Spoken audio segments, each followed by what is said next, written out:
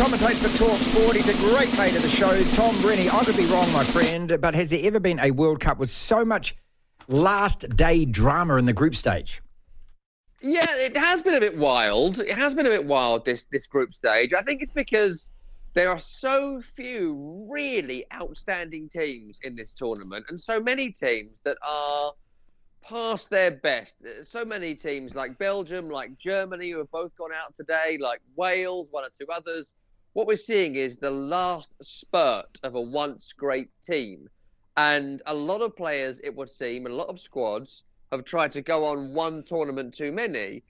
And that's led to a lot of really poor performances, really surprise results in terms of big names going out. So it, it just seems to be coming together in that way. There aren't many outstanding teams. There's about four or five teams that will win it, and there's up and coming, energetic teams taking on over the hill, aging teams, and that has led to results like today, specifically. Um, the victory for Japan over Spain, the victory for Morocco in the previous games they played to win their group in Group F. Um, and, and it has been a pretty decent group stage, I've got to say.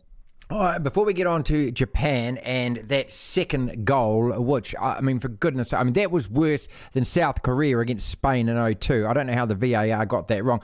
But can we also please forever bury this idiotic phrase called the golden generation? You're the golden generation if you goddamn win something. Belgium, you've won nothing. You are chocolates, is what you are. You melt, you are soft. Yeah, I mean, they are past their best. They knew they were past their best. The fact that Roberto Martinez, the manager, has resigned within about 25 minutes of, of them being knocked out of the World Cup tells you they all knew this wasn't going to be their year. The World Cup last last time around, forgive me, that was their World Cup. That was their time. That was their moment. That was when they had the team to get the job done, and they blew it then. They blew it then. I think ended up third, beating in that third place playoff, losing to to France in the semi final. That was their time. This time around, apart from Kevin De Bruyne, who is peaking, who is at the very top of their game at this moment in time. Certainly not Toby Alderweireld, who I thought had retired. Same with with Jan Vertonghen. Um, Leander Dendoncker didn't get a game for Wolverhampton Wanderers, so got loaned out to Aston Villa. That's not great news. And Lukaku came on at half time oh. and missed more chances than maybe any other player has across the entire tournament. It was miss after miss after pitiful miss. And I feel very sorry for Lukaku in a way because he clearly isn't sharp. He clearly isn't fit, but also some of those misses, unforgivable, really. Tom Rennie is with us from Talk Sport before he goes on holiday to Spain, and hopefully that you can find a television over there because I know that you will be watching. Japan beating Spain, Costa Rica to Germany four. I mean, you know what I've loved about the, these simultaneous matches is that with 20 minutes to go, there's four different scenarios. Then it changes, then it changes. You've got to watch it on a split screen. This is the modern football fan, Tom. We can't just have one game up. You've got to have both games up simultaneous.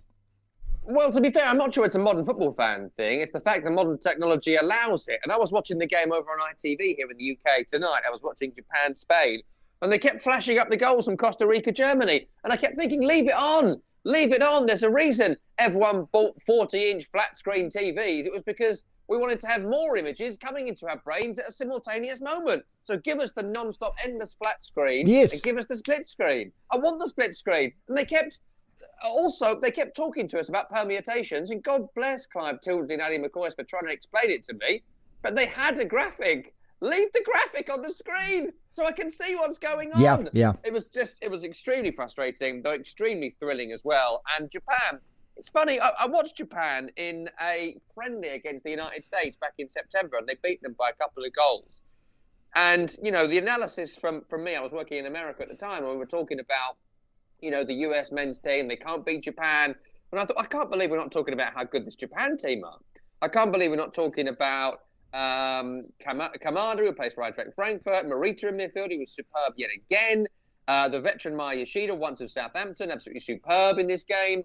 In a five-man defence, Mitoma plays for Brighton, absolutely fantastic. Uh, Kubo, an incredible performance from him once again. The goal from Doan in the 48th minute, the blaster from distance that beats Simon incredible. They have a great energy, a great team spirit, a great work ethic. And once again, we keep seeing a team who is up and coming, energetic and vibrant against a team who who maybe aren't anywhere near their best. Maybe a big name have got older players who maybe shouldn't be at this World Cup. Busquets, Morata, players who are too young to really be at their peak, Pedri, Gavi, uh, and the fact that uh, Luis Enrique has played Rodri at centre half for every game for Spain has also been really interesting. Again, it's another team who are spluttering and trying to find themselves against a team that they should be beating, but they're a, a better team, a, a product, if you like, of a long term plan as opposed to a couple of weeks before the tournament. What's the squad, chaps? What shall we do? And, and Japan deservedly have won the group and knocked out Germany. Incredible.